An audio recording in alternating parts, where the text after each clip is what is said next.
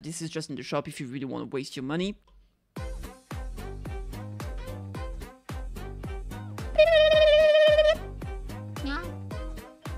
Subscribe, please.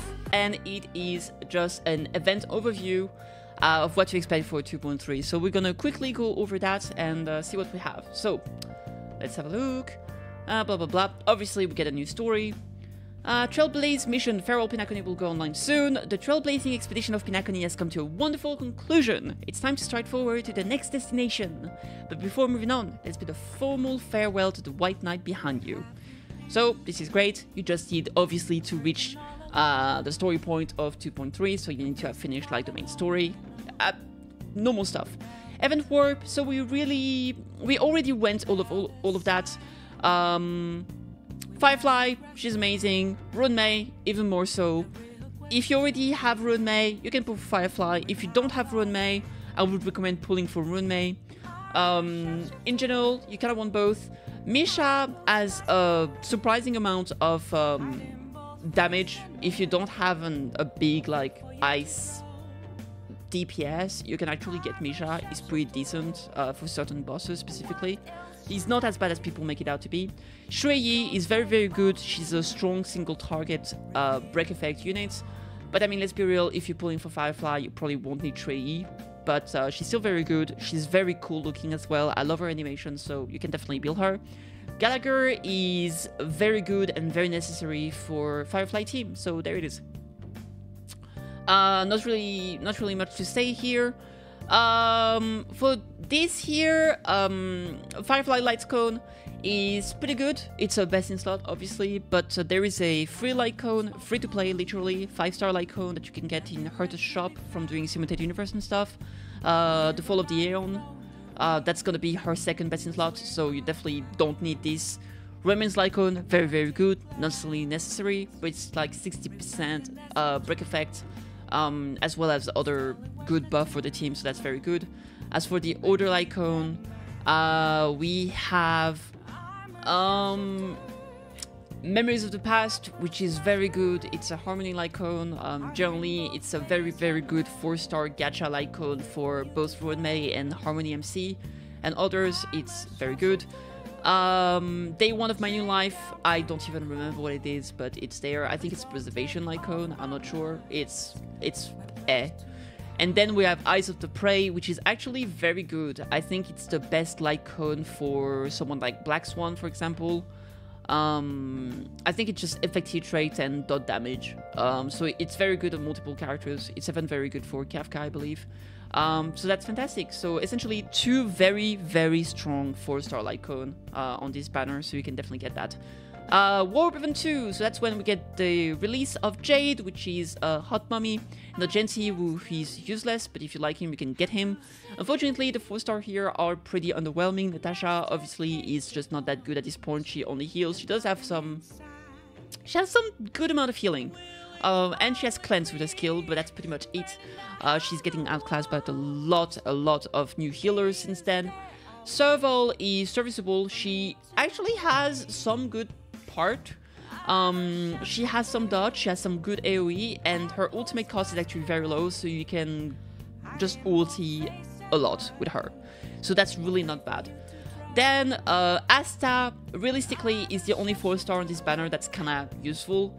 Um, or like, you probably have the most value out of her. She's actually quite decent. Uh, she's she has a lot of good speed buff.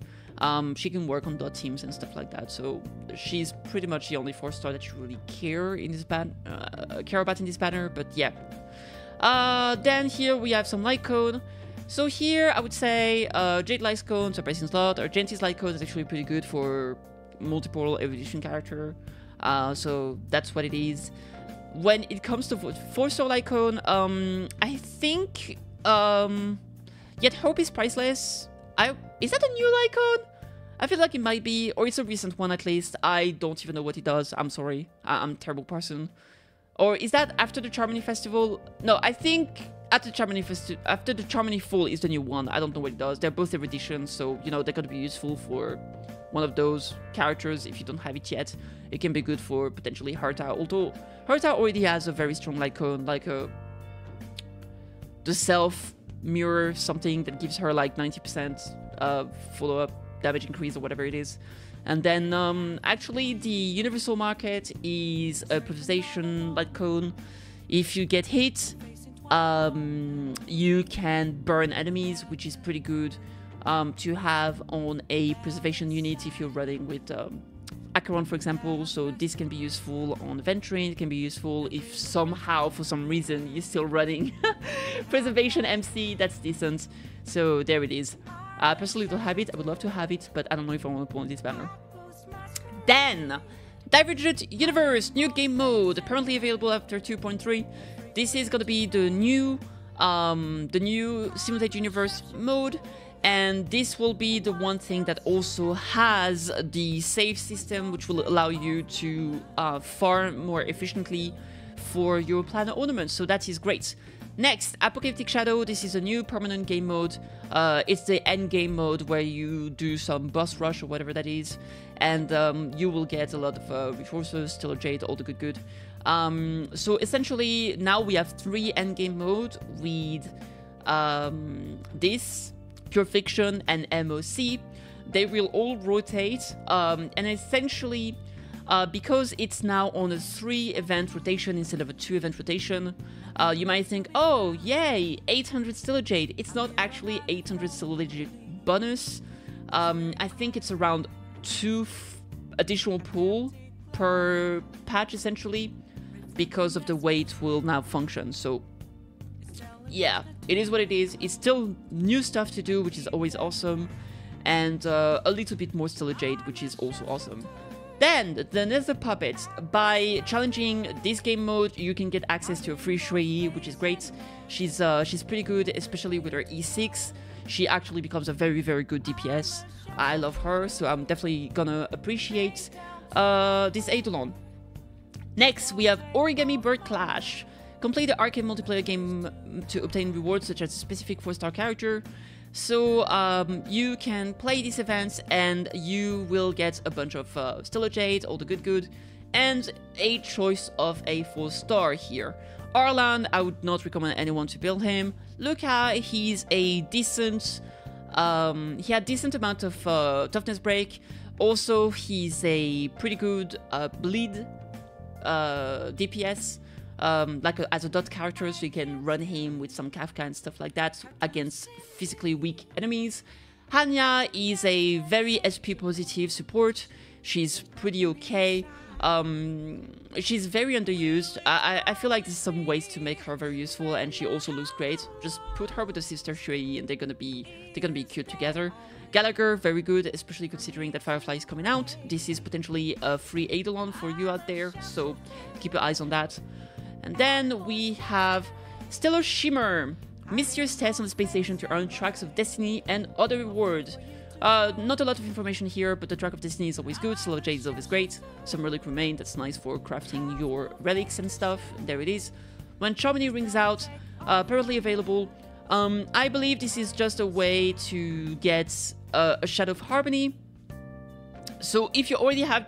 Okay, so basically this allows you to immediately get the Trailblazer Harmony, the Harmony MC, even if you haven't completed the story, which is nice for new players. And if you have already completed the story, this allows you to get an Eidolon.